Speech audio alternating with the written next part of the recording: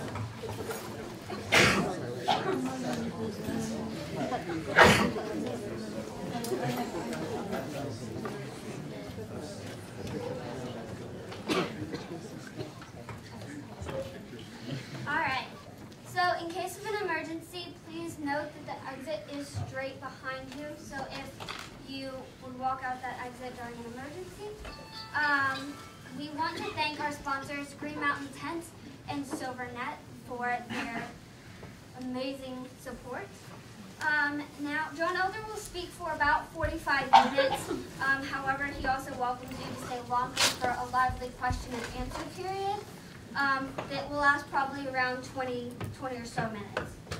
Um, so John Elder uh, taught English and Environmental Studies at Middlebury College from 1973 until his retirement in 2010. Um, he lives in Bristol with his wife Rita, and he recently just published a book in 2016 called Picking Up the Flute that explores geological, historical, and environmental parallels of Ireland between Ireland and Vermont. Now these books are for sale tonight. Um, they're about twenty dollars each, um, and I've been told that he's more than welcome to sign any copy that is purchased tonight. Um, they were published by um, a company here in Brattleboro um, called Green Green Writers. Um, and so, if you would please help me give a warm welcome to Professor John Elder.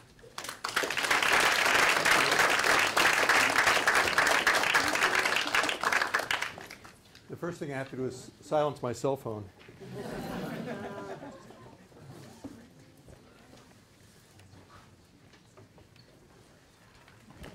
Okay, so far so good. It's really nice to be with you all tonight. I'd like to thank uh, Irina for the introduction and uh, her and Jeff for being such uh, gracious hosts here. I've really enjoyed my, my day uh, here very much and I'm glad to be with you all this evening. When I first um, uh, signed up for this talk and, and provided a, a topic, it was um, the power of myth and the challenge of climate change. And I am going to talk about that, but it's, that, was, that was several months ago, and it's kept evolving for me. I kept, obviously, this is a, this is a, vast topic, and uh, it calls uh, for all sorts of expertise I don't have. So I kept trying to find a way to, to frame it and to, and, to, and to pull it into focus.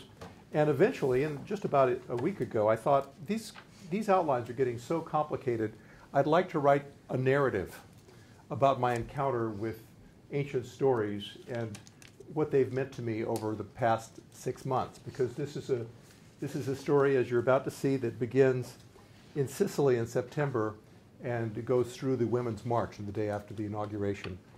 Um, so what I'll, what I'll do is read to you a, a portion from this uh, very fresh essay, uh, and then I, I look forward to sharing those thoughts with you, but, but knowing that the, um, the chance to have uh, exchange with you at the end will be particularly valuable because, because there's a lot of work these, uh, these ideas uh, require.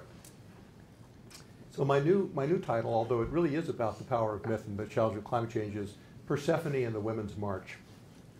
In September of 2016, my wife Rita and I traveled in Sicily, where I was to teach for a branch of the Bread Loaf Writers Conference.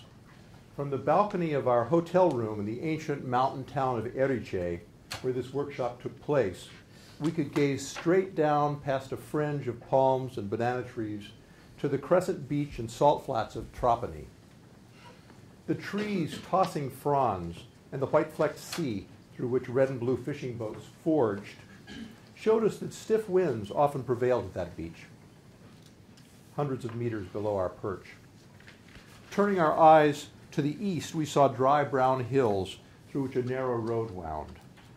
At one point during the workshop, we joined a group taking a tour bus along that road to visit the Greek ruins at Segesta. After it carried us over the first uh, rank of hills, we suddenly saw ridge after ridge of white wind turbines climbing ahead of us into the island's stony interior.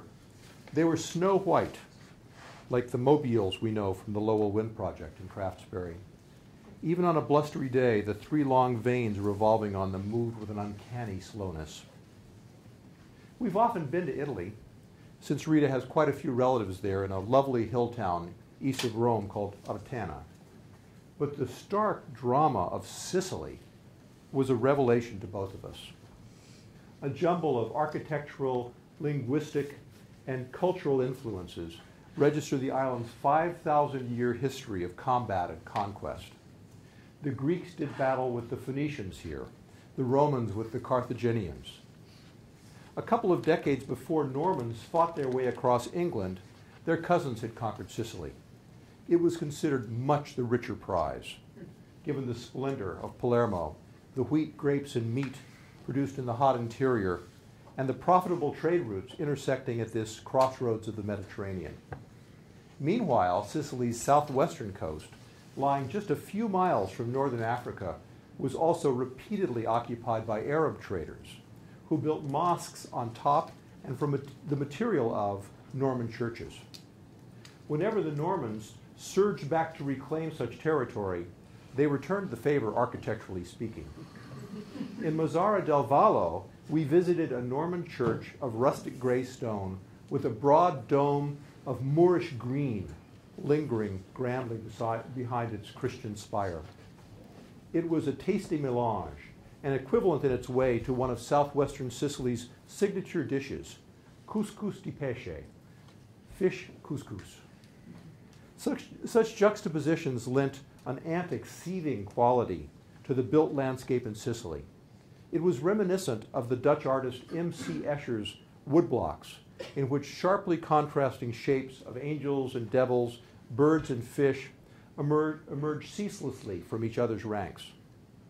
Viewing such vertiginous designs, one has the sense of simultaneously falling into a well and floating off into the sky. The island's arid center has a similarly dreamlike quality, with its rugged, uh, almost vertical cliffs of basalt and tuff, and the fiery spectacle of Mount Etna, Europe's most dramatically active volcano. Freud described the imagery of dreams as uncanny, for which his German word was unheimlich, or unhomely, because the faces and landscapes in dreams can feel at once familiar and strange, they offer arresting glimpses of the usually unseen tectonic forces that can crumple and invert the, placid, the placid social service, surfaces of our lives. We too felt at once mystified and fascinated while traveling across this realm of relics and collisions after the conclusion of the initial week long conference. Giants waved their slow arms at us from distant hills, and lava welled up among boulders that had not so long before been molten themselves. Sicily was part of Magna Graecia, or Greater Greece, for hundreds of years. One result is that today, many of the best preserved Greek temples in the world stand on this island. The Valley of the Temples, lying downslope from the city of Agrigento, offer an especially impressive collection of such sacred sites. But even more arresting than all those Doric columns were the myths rooted in the Sicilian landscape. Not myths that the Greek settlers brought here, but rather images and stories that had already long inhabited Sicily before they were incorporated into the suave, sophisticated Olympian pantheon. These stories were much more raw. Like ruins, Such myths share the uncanny, revelatory quality of dreams. The Homeric gods and goddesses manifest recognizably human feelings of lust and love. They harbor grudges, they fight, and from time to time they even show compassion, just as the Achaeans and the Trojans do. But they also have ichor in their veins instead of blood and live forever. That makes a difference. As does Zeus's control of the thunder and lightning, Poseidon's mastery of the sea, and Athena's ability to direct the course of battle by disguising herself as a mortal warrior. Looking through the windshield of our rented Fiat or consulting the road map at the beginning of each day, we were frequently reminded of Sicily's native myths. The 400 tall, foot tall wind turbines reminded me of Polyphemus and his one eyed brethren, powerful giants, though finally not quick or clever enough to stop wily Odysseus from escaping. Similarly, the many headed Hydra Scylla and the whirlpool Charybdis, between which Odysseus had to navigate his ship in Homer's account, were situated by the Greeks specifically in the Strait of Messina, the rough seas separating Sicily from the toe of the Italian boot. But the Sicilian myth that struck me most during our travels in September and October, and that also speaks most powerfully to the cultural transformation required of us now by climate change, was the story of Persephone. This is Proserpina in the, in the Roman version of her name. The most ancient versions of this myth specified that Persephone was abducted by Hades, king of the underworld, at Lake Pergusa, beside the mountain town of Enna that lies almost exactly at the island's center. She was stolen away while gathering flowers and momentarily out of sight by her mother Demeter, goddess of the blossoming world and of agriculture. I should pause to say, how's my volume back there? Is it okay? Give me this subtle signal if, it, if I should ever dip. As I already knew from my tattered collection of Greek myths for children, as well as from the account in Ovid's Metamorphoses, Demeter's grief for the loss of her daughter was so great that all vegetation on the earth died away after her daughter's disappearance. For this reason, Zeus had to, to descend. Did I say that, she, that, Demeter was the goddess of the flowering world and agriculture? I was uh, that I got distracted by my watch band. For this reason, Zeus had to descend to the lair of his brother Hades and force him to release Persephone.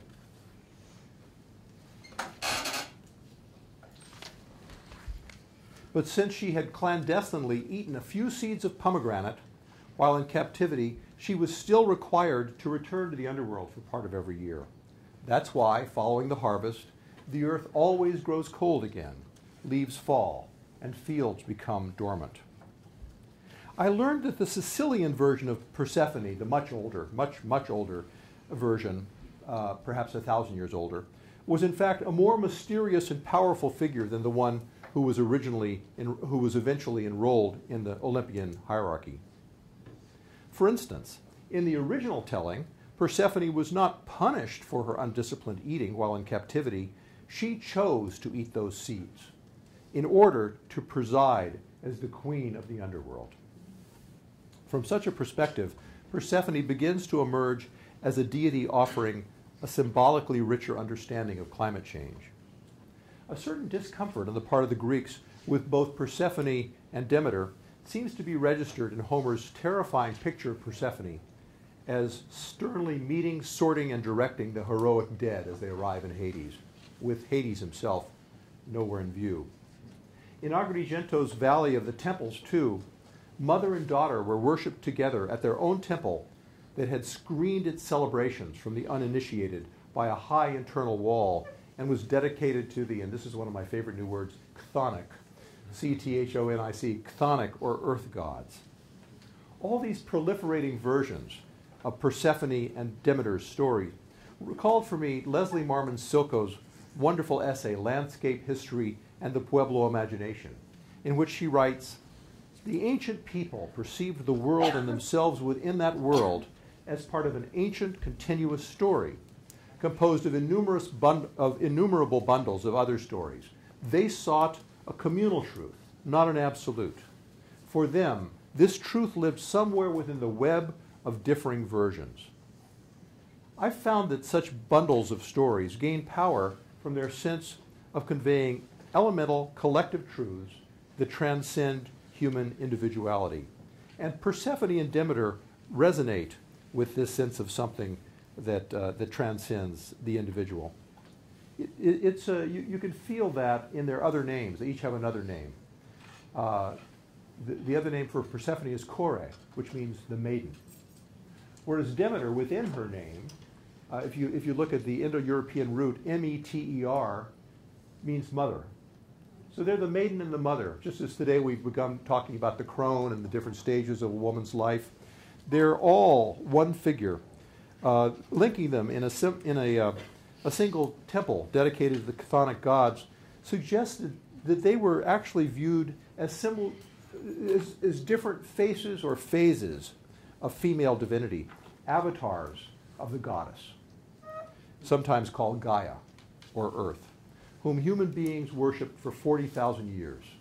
In other words, we worship the goddess for perhaps eight times longer than we've worshiped the sky gods who followed up on them. All around the Mediterranean, the Middle East, uh, people began to turn towards sky gods, hierarchical figures of power and identified as specifically male. There's a theory for why this religious shift occurred in countries like Israel, Persia, and uh, Greece, namely that it happened shortly after the um, emergence of agriculture from the, from the hunter-gatherer uh, origins, and with agriculture, the capacity to store large amounts of food in granaries, and then the cities that grew up around these stocks of food, people didn't need to move so much because the food was in one place.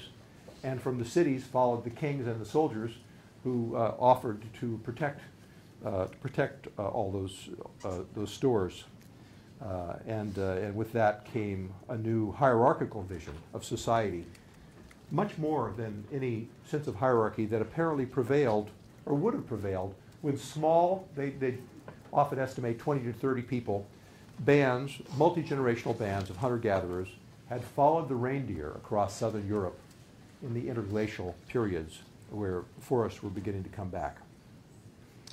Demeter's story, in one telling, in one version of its telling, uh, was that she eventually got married to Dionysus, uh, a, a, very hot god, an orgiastic, orgiastic god, the god of the harvest and of, and of wine. And given the sense that, that Persephone and, and Demeter are, are two sides of one circuit, that mirrors and completes uh, Persephone's descent into, in, into Hades with the coldest of the gods. In the same way that winter and summer complement each other and complete each other within the circle of the seasons. The wholeness of the year that includes both barrenness and plenty was worshipped by the devotees of the chthonic, or another wonderful word coming up now, Eleusinian mysteries. The, we don't know exactly how these mysteries were celebrated because only the initiate could see them, but there are some various texts about them, including one Homeric hymn, that say they began, the, the, the mysteries, with a reenactment of, of Persephone's descent into the underworld, and they ended in a moment of mystic contemplation as an ear of wheat, the promise of immortality, was held aloft before the celebrants. This sense of, of uh, not just celebrating the harvest, but celebrating the cold time and the dark time uh, speaks to what I found the special relevance of Persephone and her mother to the ecological and cultural crisis of our time, which is climate change. And this became, in, in, the story of my grappling with this idea, this became clear to me only at the end of our time in Sicily. For the first several weeks, I've been reading about Sicily. We've been going to temples. We've been, we've been looking at ancient statues and thinking about our connection with other uh, avatars of the goddess, an idea I'll come back to. But toward the end of our time, in fact, the last place we stopped before we we caught a plane to come back to Vermont. We were sitting under a large striped umbrella in the cobblestone uh, square of Cefalù, which is on the, the northern uh, coast of, of Sicily. We were enjoying an afternoon coffee while gazing up at the rugged towers of the cathedral we just visited there. It was begun in 1311, in, excuse me, in 1131 by Roger II, Roger II, the most famous of the Norman kings. And uh, the grandeur of it is, is really remarkable. It's, it's, not only is it very large, but the interior is very high. Uh, it's also uh, made more grand and mysterious by the fact that they decided to cannibalize the Doric columns from the local Greek ruins and put them inside as the columns that, that mark the aisles of the, of the cathedral.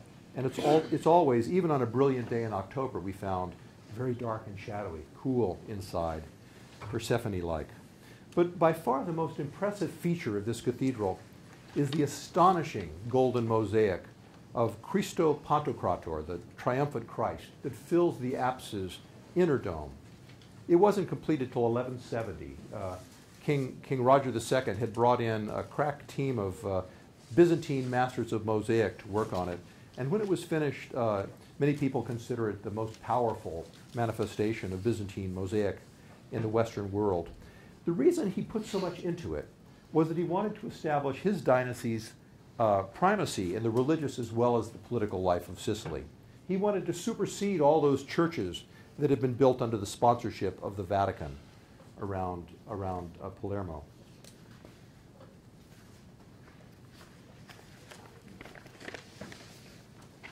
When Rita and I had walked down the cathedral's long aisle earlier in that day, hoping to get a fuller view of the mosaic, we still couldn't exactly make out all its details in that dusky space so far above our heads. Then a guide for a nearby group of German tourists who had expectantly set up their cameras on tripods dropped a couple of euros in a slot. Upward pointing lamps flared into the apse, and the mosaic blazed back at us. We felt as if we were falling into the sun. It was not just the voltage of all those reflective gold tiles surging across the stone sky. Each of the mosaic's figures and every ornamental motif was rendered more vibrant by the contrast of their blues, greens, and reds to this vivid background. Arrayed around the central, solemn face of Christ himself were Mary with her retinue of gorgeous archangels, a procession of apostles, saints, and prophets, and delegations of seraphim and cherubim. The overall impression was of glorious, inclusive symmetry, anticipating by a century and a half Dante's concentric vision of heaven near the end of Paradiso. The impact of Christ's huge countenance at the center of the design in Cefalù conveyed his divine power above all.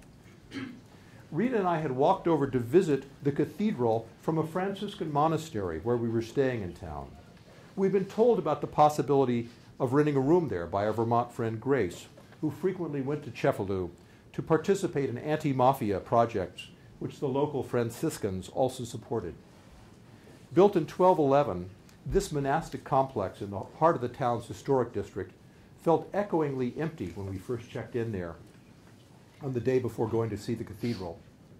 There were, frequent, there were apparently only five monks still in residence, and during our visit we had contact with just one of them, Padre Aurelio. Aurelio. Several women in their 50s staffed the office where we registered, and a jolly caretaker named Giuseppe came over to greet us whenever we walked through the cloister's pillared, pillared walkway. He spoke no Italian, and we couldn't understand a word of his Sicilian. But his goodwill plus his curiosity about us made the encounters fun for him and us alike.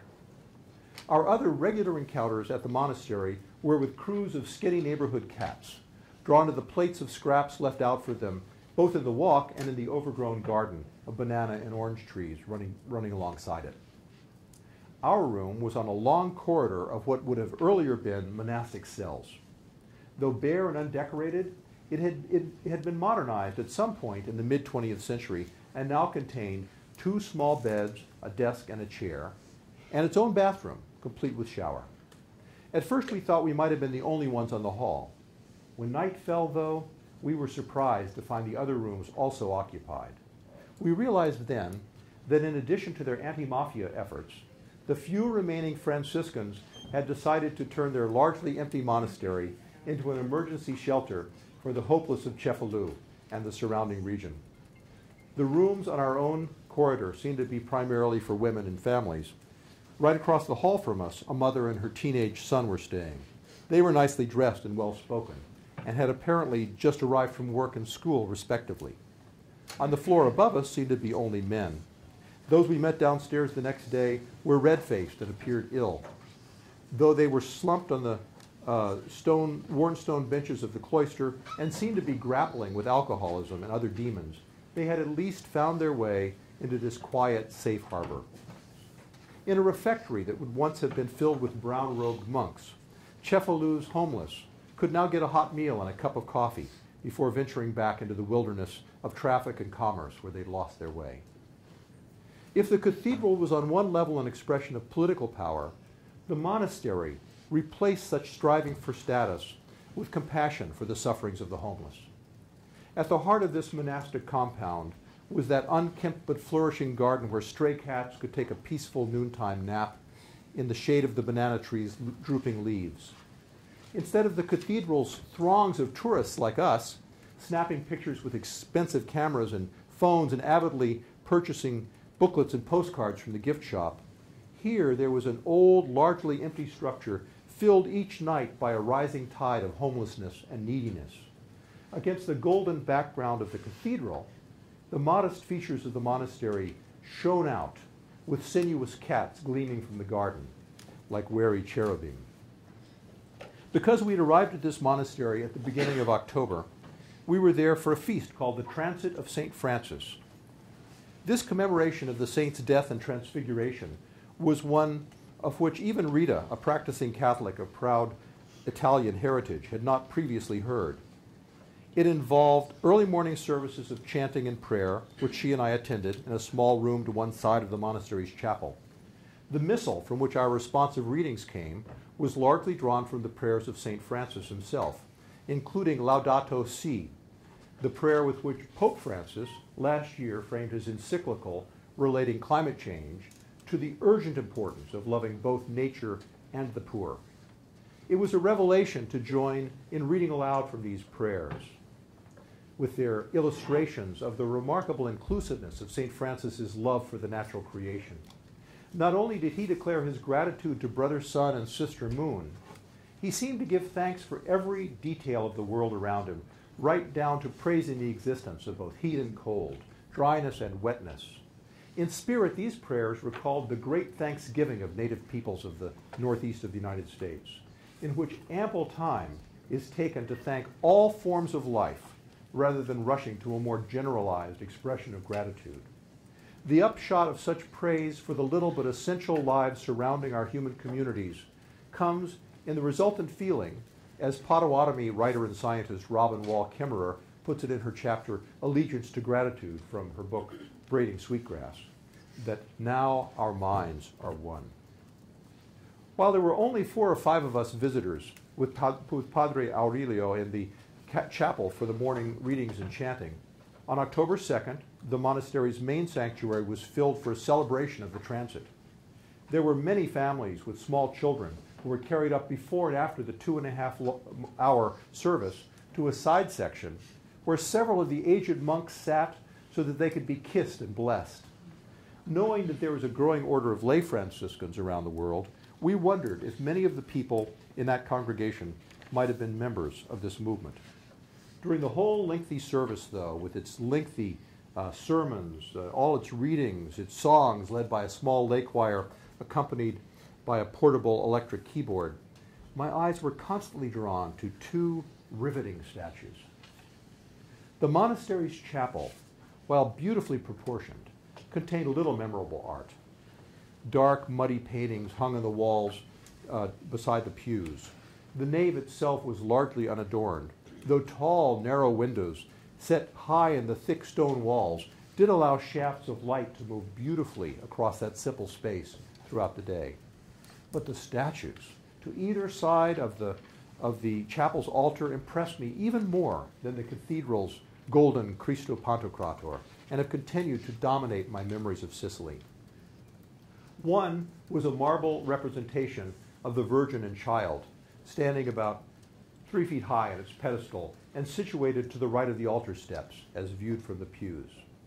It seemed once to have been painted in strong primary colors, and though that paint had largely faded away, the sculpture still appeared tinted, as with a light wash. Mary was quite slender, with a strikingly young face gazing out serenely from the cowl covering her head and hair as she cradled the Holy Child in her left arm. Though her ample sleeves enveloped her arms to the wrists, and her gown reached to the floor, concealing her feet, her draping garments had nevertheless been divided in front to expose her small right breast.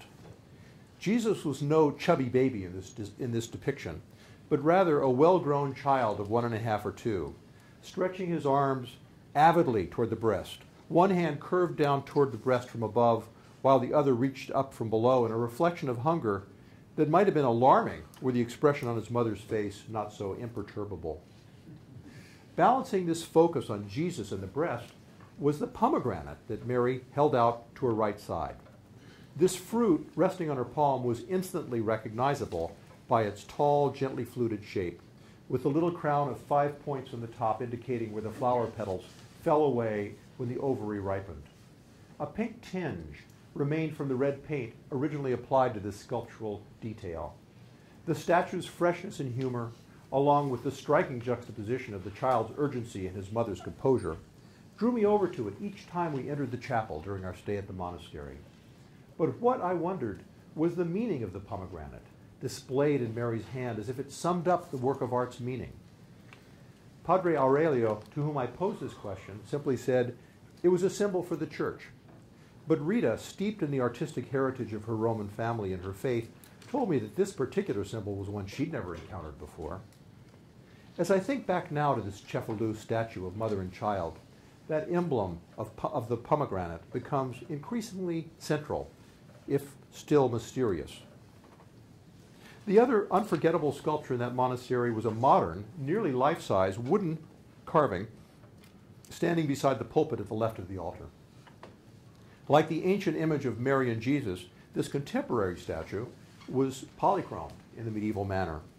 Against the unpainted wood of the saint's hands and face, the brown monastic robe and the snow white plumage of the doves perching on his outstretched hands made striking contrasts. Two small doves, their tail feathers fanned out as if they'd just alit, sat calmly on his left palm. While a single dove was gently cupped in his right hand, St. Francis bent his whole torso over to gaze at the bird, drinking in the sight of it with a rapturous expression. The sheer joy with which he lost himself in regarding this creature, he would have called Sister Dove, reminded me of a phrase sometimes uh, used to describe the extraordinary openness to the world experienced by artists, scientists, and other lovers of nature the naturalist's gaze.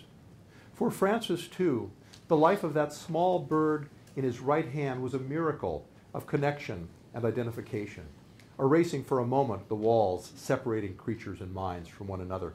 And I'll just uh, interject here. I'm, I'm, cutting some pieces out, but I want to give you the, the whole flow of this, as I say, brand new, as of this morning, uh, a narrative. Um, the reason that St. Francis is so important to me is finally I look at the goddess as uh, a liberating force for men and women alike, and figures like St. Francis as contributing to uh, a kind of uh, amplification of certain um, qualities that have stereotypically been called feminine.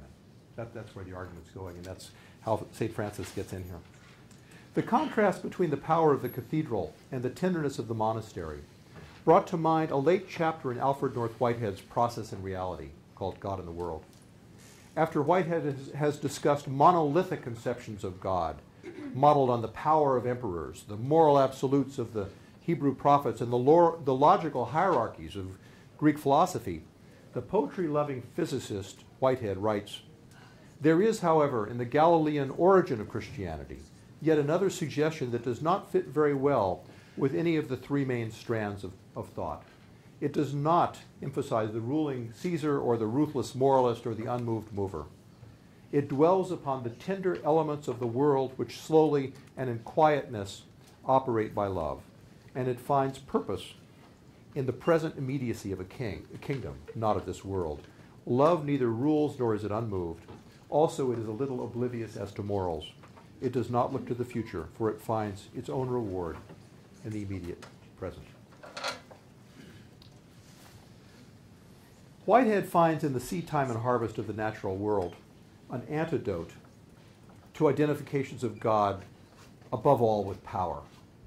Such an emphasis echoes the way in which the early versions of Persephone and Demeter, maiden and mother, complemented the Olympian pantheon through their manifestations of a primal female principle of fertility and health.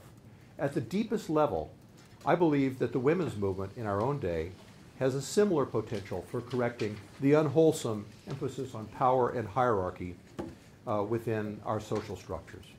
It may lead the way to cultural transformation that will allow us to engage more significantly than we yet have done with the challenge of climate change. The dramatic contrast between those two sacred spaces in Cefalù recalled for me a passage in a book that already fascinated me. It was uh, Forests The Shadow of Civilization by the comparative literature scholar Robert Pogue Harrison. And in it, in one little, one little passage, he discusses the surprising reappearances of the goddess, like Persephone, as I've argued, throughout human history. Here's what, here's what Harrison says. In Artemis's city of Ephesus, Artemis was another goddess avatar, as he argues, a, a, a kind of primal female deity. In Artemis's city of Ephesus, the Christian prelates convened in AD 431 to discuss the alarming cults of the Virgin Mary which had spread throughout the Christian community. The church at that time was decisively hostile toward Mary, her worship being dangerously reminiscent of paganism. But it was decided by the bishops in Ephesus that her following was too popular and that the church would do best to canonize her. Mary was officially declared the Mother of God, and Artemis's traditional festival day, August 15th, was chosen as the holy day of Mary's assumption into heaven. Thus was the virgin goddess assimilated yet again into a new religious order. This was only the most recent chapter in the story of her various accommodations to new religious institutions. Prior to the Christian Revolution, the Olympian pantheon had to make uh, room for Artemis, for she was originally an outsider among the Olympians, so much that Hesiod had to invent a genealogy for her.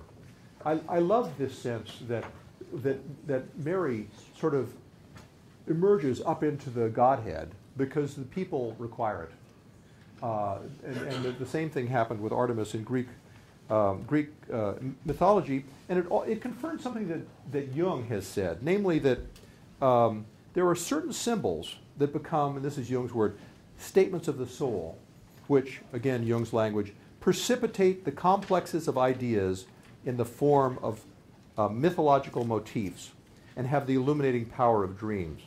What, what excites me about this is, as you can see, I'm working with the sense that, that Persephone has something we need at this moment of crisis, but that doesn't mean we can go out and come up with a, a program based upon her, or that we could reintroduce, even if we wanted, goddess worship in the ancient form. What it does mean is that there are certain bundles of, of ideals and values and emotions that, that are perpetually re-arising. We need to recognize the possibility for reorienting our culture uh, to these ideas in the forms they come to us now. Our Sicilian encounters with Persephone left me inclined to believe that the recurrence of the goddess in these different forms is more than just a theme in intellectual history. It's a current, deep in Western culture, which has retained the potential to promote transformation at this moment of crisis. I'm struck, uh, as, as global warming uh, is such an arresting challenge for us, by the vast inherited potential of the women's movement as an agent for this requisite cultural transformation and for the continuity at a symbolic level uh, with, with uh, worship for the, the uh, Earth Mother that goes back into the beginning of our human history. On the day after an inauguration, so crudely expressive of sky god values, including self assertive power, exclusiveness, and a lack of charity, I was one of many people feeling buoyed up by the women's marches taking place around the country and the world. By and large, these events seem to emphasize ambitious, positive values rather than lingering on the new administration's obvious faults. Their ultimate power was at a deep symbolic and emotional layer, a le- level uh, that much more powerfully pushed back than uh, simple arguments would have done against the tactics of our new president. An article in the New York Times had profiled the Brexiteer Arron Banks, who had advised both Nigel Farage in the UK and Donald Trump. Never apologize, he said he had told Mr. Trump, Facts are white noise and emotions rule. The conduct and grandeur of the women's marches, unlike the daily tweets and petulance uh, that, gal- that, that so fascinated the mainstream media, conveyed a corresponding sense that, that uh, all of that noise, uh, all, of that controversy was so much white noise too. There was a much bigger and deeper contest underway between power structures inhibiting our identification with each other in the natural world and a more inclusive and poetic vision of life together on Earth. Because Rita has some problems with, with mobility, she decided she'd better not try to participate in one of the women's marches. So we both ended up staying home together and following eagerly the dispatches sent home from our friends in Washington as well as uh, from Montpelier with its 15 to 20,000 uh, marchers, uh, including our son Caleb and our daughter-in-law Michaela. Later in the day, we were also particularly excited to read about the march in Los Angeles, for which 750,000 people turned out, one of whom was our daughter Rachel. It wasn't just the millions of participants who eventually took part in all the marches uh, here and overseas that thrilled us. It was also the feeling of high spirited energy tapping into a deep and ancient reservoir of hope just when it was most needed. The fact that it was a women's march was symbolically essential, given the present contest, contest between a hierarchical competitive vision and a deep inclusive one. It reflected the availability to, to humanity at this very moment of an enduring power and the possibility for a deep reimagination of humanity's place in the vast cycles of nature, available to all of us. In the archaeological and artistic evidence remaining from all those thousands of years when small multi generational bands of hunter gatherers moved across uh, Europe, there were no indications of competing male and female deities. To the contrary, the all embracing love of Mother Earth speaks eloquently from the cave paintings at Lascaux and Pech Merle. Early on, some uh, critics suggested that these might have been produced as magical hunting aids, but that argument fell away when it was observed how few food animals and scenes of hunting figured on the walls, and how rudimentary and rare were the images of human beings in those grand tableaux. The emphasis was on the elegance of horses and aurochses, the grandeur of mammoths. The feelings expressed by these deft and tender paintings rippling across those stone walls beneath the surface of the earth was and is beautiful. So beautiful. Participants in the women's marches explicitly drew attention to specific issues of importance to women that were in conflict with statements and actions of the new president. But in the pink knit hats sported by many marchers, these events also felt like celebrations, parties like Mardi Gras that marked a turning of the year, preparing for a new season, and also for a heightened degree of focus on the community's fundamental values. One of my favorite photos from the Montpelier March was one Michaela sent us of our large son, Caleb, sporting both his bushy red beard and a pink knit, knit hat with ears that matched the hat on Michaela's head. Draped over the shoulders of his red and black Johnson wool jacket was a long, delightfully garish garland of plastic roses as he grinned at the camera, arms crossed in a Whitmanesque slouch. Feminist scholars have long since dismantled the presumption that bundles of attributes stereotypically described as masculine or feminine have primarily to do with X and Y chromosomes. Genders, as writers like Judith Butler have argued, are to an intriguing degree categories which men and women are socialized to perform. From such a perspective, the women's movement, with its claim for freedom from restricting female roles, is also a movement for human liberation more broadly. It's a movement with strong affinities with the legacy of Galilean tenderness and the passionate love for nature and the poor shown by St. Francis. It's also both a forerunner and a corollary of the Romantic movement, dating from, um, uh, excuse me, the, both a corollary and a forerunner of the women's movement was the Romantic movement, dating from the late 18th century in Western Europe and the United States. That arose as a direct response to values associated with the Enlightenment, or to put it another way, uh, with um, uh, values related to elite, um, uh, wealthy males in the capitals of Europe. In response to the formal, controlling, rational, and elite values of the time, thinkers and artists like the brothers Grimm in Germany and Wordsworth in England countered with an organic, natural, and emotional aesthetic. You, you can see it's all, it's all part of one, one reaction, and also with a keen appreciation for the insights con- conveyed by dreams and by old wives' tales. So these artists, opposed to the metropolitan and uh, privileged values, uh, the wisdom of rural traditions and the beauty of the poor. I think that Romanticism, with which the environmental movement, the women's movement, the anti colonial movement, and the civil rights movement all claim an affinity, may in fact be seen as an effort that continues until today, an effort of two and a half centuries, fundamentally dedicated to refeminizing culture. It's in effect a project for survival, a vehicle not only for escape from destructive practices that threaten our behavior, but also from the politics of domination, the economics of endless hyperthyroid growth, and the culture of isolated individuality. There are so many behaviors and policies we need to change immediately if we're to mitigate the impact of carbon deposition in the atmosphere to any significant degree. The fact that we've not yet done so, despite all we know about the gravity of global warming, reflects the underlying fact that such a change in our collective actions ultimately requires a fundamental cultural transformation. The melting of glaciers of the, and of the entire Greenland ice cap, the flooding of inhabited islands uh, and of impoverished coastal communities, the desertification of continental interiors are all inseparable from the individualism, competitiveness, consumerism, and everyday reliance on fossil fuels in affluent societies of the West and the Pacific Rim. And it did not escape me during our trip to Sicily that the jet fuel burned on our flights from Burlington to Palermo and the, and the uh, gasoline used in our Sicilian rental car after the workshop was over were important parts of this knotty riddle. They were all tied up in the knot. Where can one stand in order to reshape one's life or to rethink the society of which it's a part? Is there a way to be simultaneously within and without ourselves in order to effect such a change?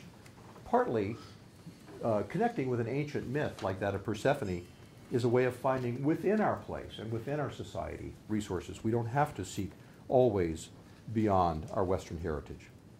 I think this question of how can we stand both in, in and out, it frames another paradox worthy of M.C. Escher, whom I mentioned before, or per, perhaps more to the point, of another figure often in, invoked in college uh, courses on English and environmental studies, Henry David Thoreau.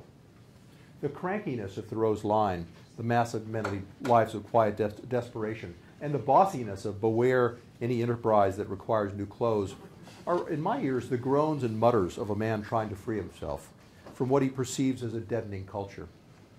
His lyrical prose, though, is also a love letter to his neighbors and inheritors, pointing the way to a better way of living on earth. If it were not so, he could have spared himself the effort of working up Walden from his journals. And his work was not wasted. Just as Thoreau's experiment in living life closer to the bone reverberates in nurturant writers today like Wendell Berry, Mary Oliver, Gary Snyder, and Terry Tempest Williams, so too his essay on civil disobedience inspired Mahatma Gandhi and through him, Dr. King. He's one of the highest examples I know of writing as a form of cultural and personal liberation. And along with celebrating the Women's March, I think it's appropriate to remember what our earliest New, what our early New England ancestor Henry uh, accomplished by holding assumptions, prevailing assumptions about success among his conquered neighbors up against the grand uh, yardsticks of the seasons and the woods. Similarly, what Sicily and Persephone can now convey is the availability of an older, deeper alternative to the culture of getting and spending. The all inclusive love of earth, represented by the image of the goddess, is encoded in our DNA. The women's movement, gay liberation, and cultural challenges to the male female binary by transgendered people all spring from a project of human liberation that may also allow us to factor the health of the earth more firmly into our social structures and cultural assumptions. We can't move directly or easily from one model of organizing our cities, our knowledge, and our economy to another. But we may be guided by an appreciation for the possibilities of progress through dialectic as we attempt to struggle forward together. Persephone's seasons in the shade of the underworld and in the warmth of the harvest are no more opposites than are men and women, nature and culture, earth and sky, America and the world, all find their health in a circle of mutual dependence and mutual recognition. As Wallace Stevens writes in Notes toward a Supreme Fiction, this is the origin of change. Winter and spring, cold copulars, embrace, and forth the particulars of rapture come. Thank you.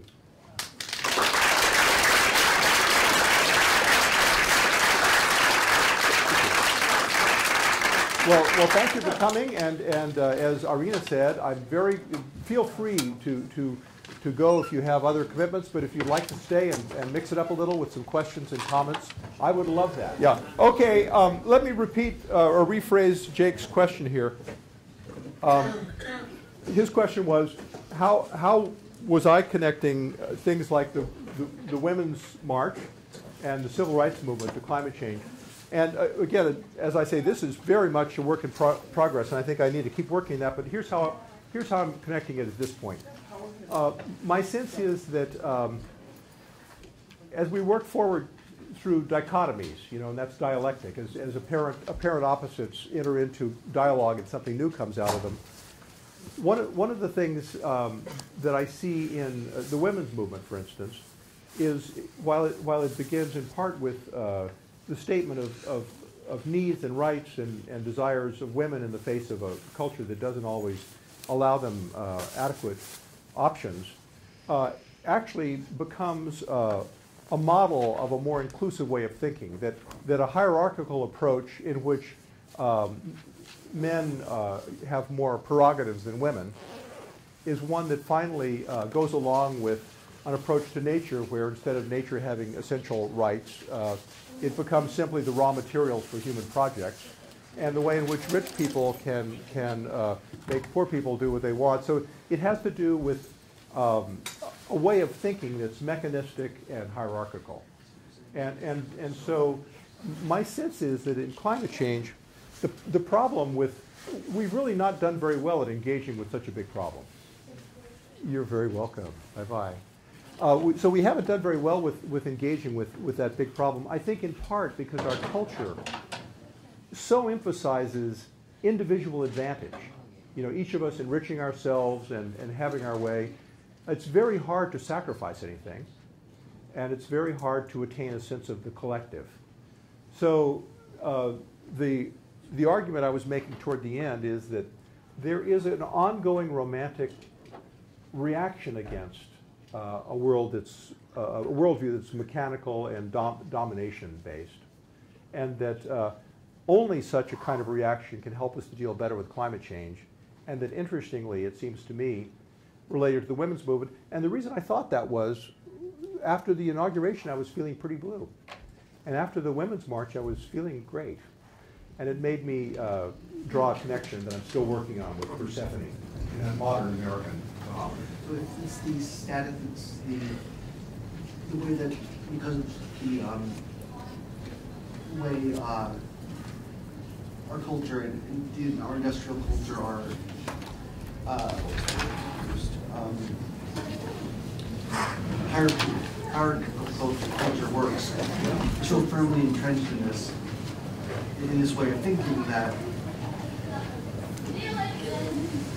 patriarchal or patriarchal doesn't really matter because the fact, the fact is that it's entrenched in this people, individuals moving up and moving forward, and that's what's important, not world around us and the people around us. Well, that we have a tendency, and you know, it's funny, sometimes we think, how can we ever shake these norms of American society? But a lot of the things we're looking at now, the, the, um, the domination of consumerism, for instance, and the, uh, uh, incredible uh, consumption of fossil fuels is much, much more intense than it was before World War II.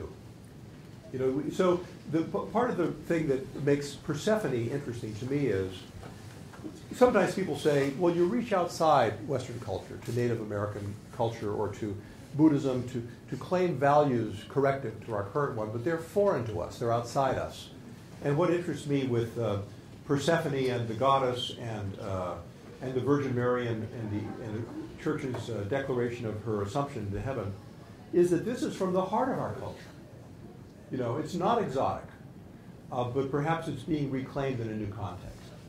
So that's the argument I'm, I'm trying to, I'm trying to work with. It's a, it's a weighty one, but your question's very good. Oh, good, good. Please, yeah, Dan. Just an observation, um, in, in the, um, in the days after the, the marches, there were, um, you'd see a lot of headlines that, that were asking questions. Where do we go for, from here?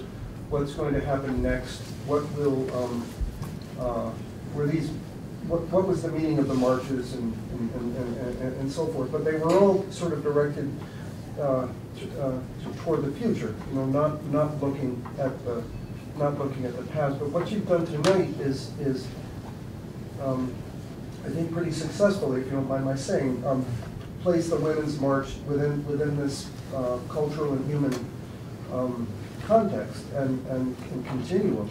Yeah. Um, And, um, and you're saying, um, I, I, this is sort of putting it grossly, I suppose, but we go forward by, by going back, or at least we go forward by, by looking at, at the roots that, that already exists that we're not recognizing, or, or that we need to recognize more, I guess would be a better way of Yes. saying it. So that's, um, yeah, that's. I, I think that's very, I think that's very helpful, Dan, and, and um, talking, talking about the question, where do we go next? I don't know if all- everyone heard that after the, after the women's marches. Um, I mean, it, it is a conundrum. Uh, I've been revising and revising this thing all, all week, and at first I began with the language of koans from Zen, I thought, well, I, let's stick with West here tonight. But, but koan, as you know, in Rinzai, Rinzai tradition of Zen Buddhism, is a, a kind of riddle, but it's not one with a solution. It's, it's, it's something you have to take into your whole being and manifest in a way that goes beyond superficial logic. And, and that's, that's what the climate change seems to me to be, because it's not a problem separable from everything about our way of life. That's the problem.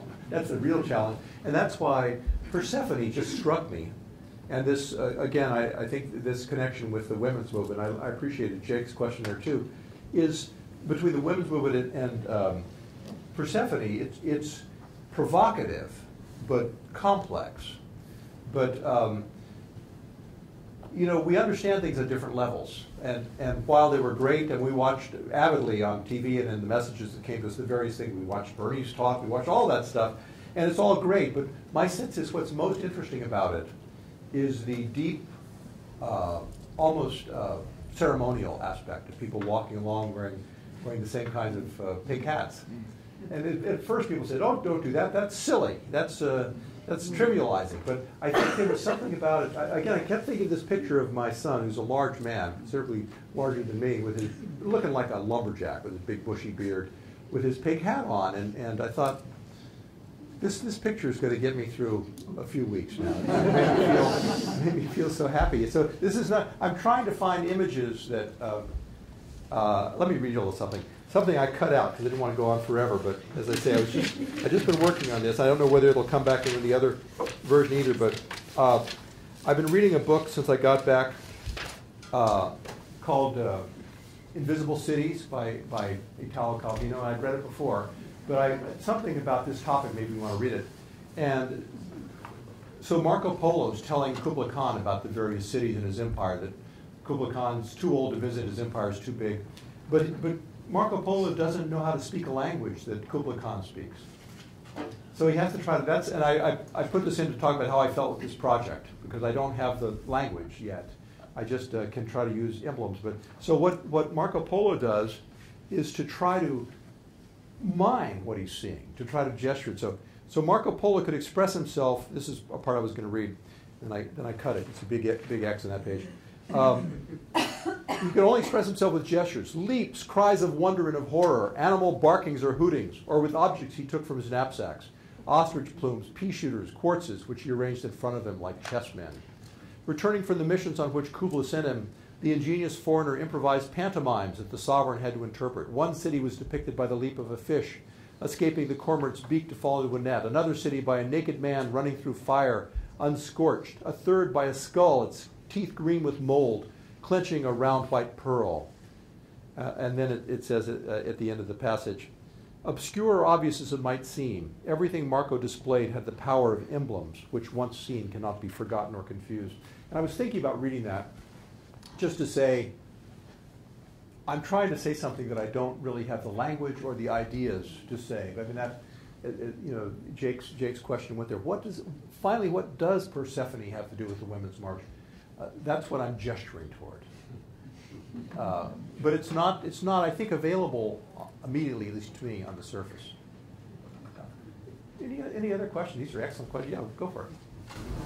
You noted that when you a Yeah. You noted that the Statue of Mary was holding a pomegranate. Yes. Do you believe that there's any link between between that, between the use of pomegranate, uh, use of the That, pomegranate that's such a good thing to ask. statue, What did you, and yes, the you- Lake of Myth of Persephone? yes. What, what is your name, please? Um, Sean. Sean. So Sean's question uh, was, what, what connection do I find between the, between the pomegranate in her, in her right hand and Persephone?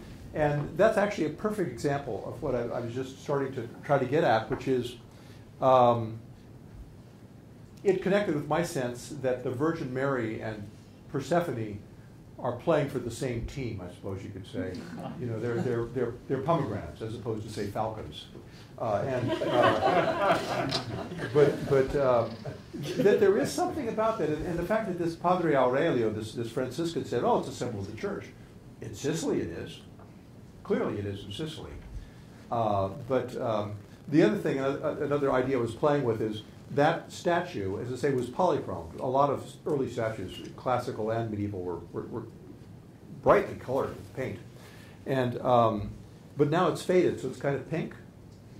So I was thinking about the pink, pink hats, you know. Oh. So, so just, just kind of, but your question's a really good one, and, and, and probably that's worth looking at more. There, there's a way in which she's saying, um, and I'm just being whimsical now, she's holding up the pomegranate, she's saying, remind you of anything? bring, any, bring anything to mind? but, and that's the way a lot of these cultural themes and strands work. So I think it's a great, a great question. Yeah. Uh, other, any other, please? Yeah, Fred, hi, Yeah. Fred. Yeah, John, I really like the way you just used the word ceremonial Yeah. as you were talking about the Women's March, and it was reminding me of, and I felt the same way, very much buoyed up by that. Um, and there were also, over that weekend, a series of, of vigils all around the country for the earth that had a similar kind of ceremonial sense to it.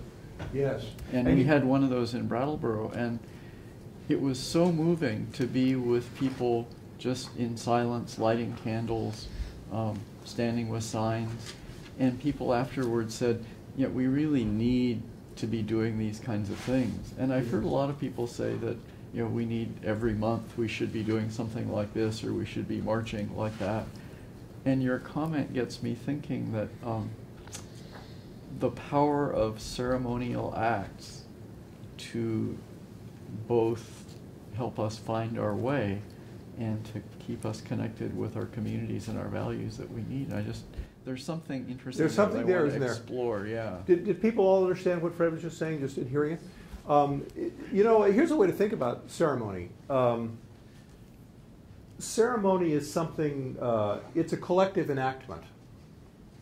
Uh, and when we went down, um, I'm a, I'm a, I'm not a Catholic, but I, uh, my wife is, and I'm uh, uh, a member of her church, you know, and so I like to go to, I, I often go to uh, services with her at places like Weston, and, and I went down every morning very early to, to do the chanting and prayer uh, service in the Cefalù Monastery, where basically we read the prayers of St. Francis in responsive form together out of, out of a little book, so I could, I could, you know, come up with the right words. And to stand a little group of people saying uh, words that are charged with insight and lyrical, lyrically cadenced uh, is a powerful experience. It's different from doing it by yourself. You know, it's, it's less like meditation or cogitation than it is uh, a kind of consolidation. And, and we, we are not as rich in ceremonial framing of our lives as people in other cultures and times have been. We're trying to invent them. And you know, one of the things that people say who are skeptical about environmental issues or, or people seeking a, an expression of complex spiritual experience is, well, that's New Age or you know that, that sort of thing. That's one of the words people use. But in fact, uh, ceremony is an ancient aspect of human life. We're, we're, uh, we have a ceremony deficiency. And, uh, to, and to know that there are continuous uh, ceremonies alive in the world and that we also can form new ways of enacting ceremony at this time is valuable. As, as I've said, and several of the questions have, have recognized this, it's very challenging to know how to move. I mean, with all of our concerns about something like climate change or about the direction of our national government, it's very hard to find a way of expressing our feelings that is constructive, literally constructive, that constructs something in which we can move forward together. And I think ceremony is a, is a way to think about that. Uh, it's, it's inclusive.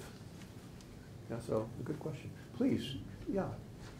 yeah. I'm thinking about uh, your initial use of the word uncanny, Yeah. which is a wonderful word. Um, And linking that to maybe some other mindsets moving into an uncertain future of uh, being more comfortable or being accepting of the uncanny, the Yes. unknowable, the paradoxes of climate change and how we, how we deal with it. Um, Also the idea of humility, Yes. and how humility also is often predicated on our sense of our smallness and our inability to change these, these larger issues that face us. Um, I just, I, I- I really like the word uncanny. Yes, and I- I like what you- Try to place it in, in the larger context of your, your, your talk. And, I- and I, I like very much what you just said too about the relationship between the uncanny and uh, the, the humble. Yeah.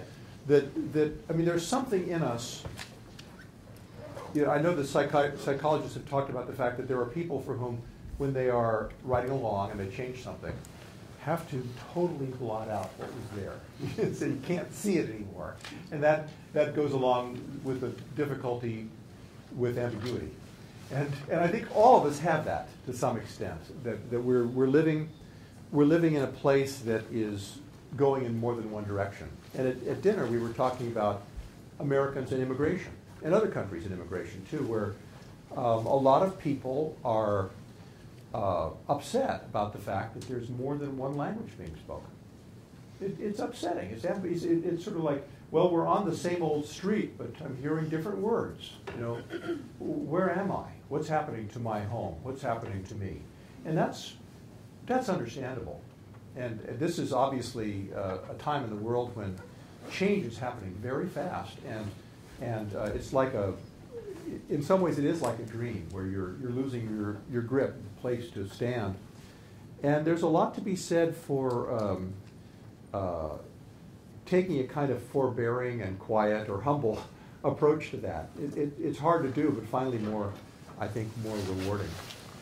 Uh, but the sense that, you know, Freud would say, uh, the ambiguity of dreams, the uncanniness of it, it, we're disturbed by the fact that we see a person who we recognize, but the hair color's wrong, or the, you know, something else, the, the gender. So it's both like and not like. Uh, that disturbs us, but it also fascinates us. It's a, it's a glimpse, you know, that makes us feel we might be able to put something together here. Please.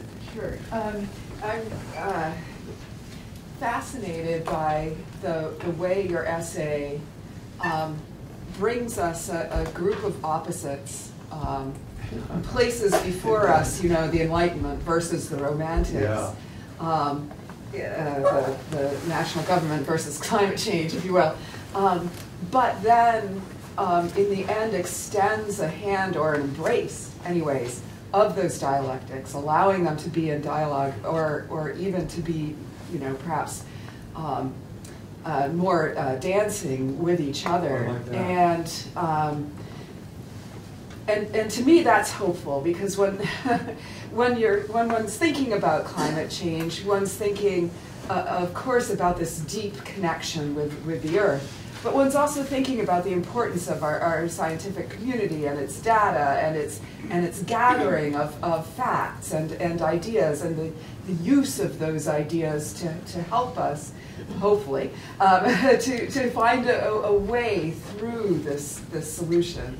So it seems to me that we both need the Enlightenment and the romantics. Absolutely, absolutely. um, in, in, in that, in that kind of embrace or, or reconcilement that you bring your essay to. Or, or dance, as you say. You know, one of the things um, I, I came to feel uh, over many years of, of teaching in a liberal arts college was that there were a couple of ideas I thought people should really come out of their education with. And one was the notion of dialectic, where you have apparent opposites, uh, the thesis and the antithesis, and then they collide, and out of it comes a synthesis.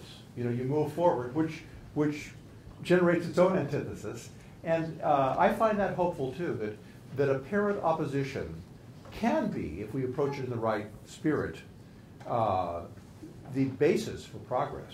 And in, in America now, where one of the things people, somebody's recommendation, I pulled up on the computer a frontline series called "The Divided States of America," which is pretty pretty. Uh, uh, strong and alarming in some ways. We, we have a we have a house divided against itself now, you know, and that cannot stand, as we know from Lincoln. But this is an opportunity to engage in more serious dialogue across divisions that have not been taken seriously enough. That might that might help us to move forward. And uh, and I think the same thing is true with, I mean, Persephone is an ancient god, almost invisible because she's been covered over with, with more modern uh, versions. Uh, she's both distant and very close at hand. And that's a, that's a kind of paradox. We, I mean, the Romantics loved ghost stories. And the one reason I think they love, love them is because ghosts are both absent and present. And they give us, they, they give us a, a way to think about things. Maybe we'll take one more question, and I would love to chat with people individually. Was there, there was one more question back there. I- Was I right see? I was thinking that you? Yeah. first I wanted to thank you, your, your essay is beautiful, I really enjoyed your writing. Thank you. Speaking. Um, and I was thinking quite a bit about what you said about, um, Gaia being forty thousand years old. Yes. Older than, in many ways, a lot of what we, what we know about. Um, Much how- older. Huh? Much older. Yeah. And also, I mean, ultimately thinking about a lot of, how the myths of the world in many, many places are the same Yes. in their own ways. But I was actually thinking about how in the, in the ancient time of knowing Gaia the way they did, eventually the earth covered itself with ice. And out of that became the matriarchal society, which then flipped over to the pa- patriarchal. Mm-hmm.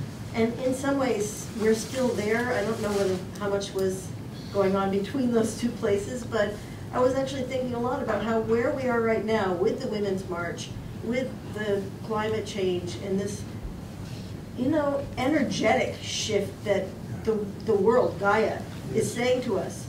Are you gonna find balance or shall I? Yeah, right. right. Yeah. Well, that's right. Um, it, and it's interesting. Again, these things are so vast. These ideas are, Yeah.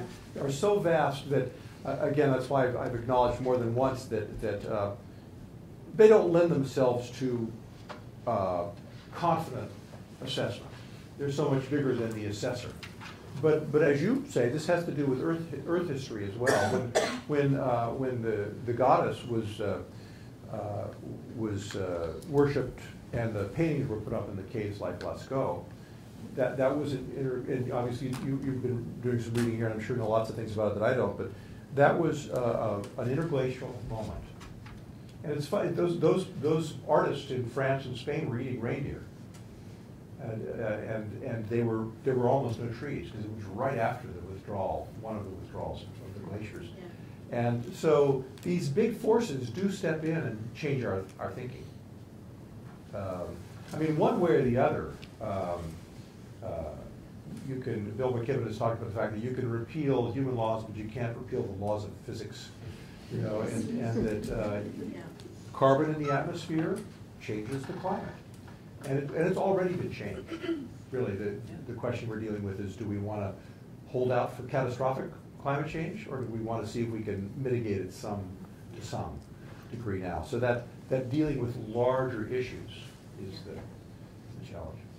But what good questions, I really appreciated them. Why don't we stop now, and I'd, I'd be glad to hang out here if anybody would like to talk individually, if anybody wants to buy a book back there, I'd be glad to come up and sign, or you bring down here and sign them if people are, want want you to talk more. So. Thank you.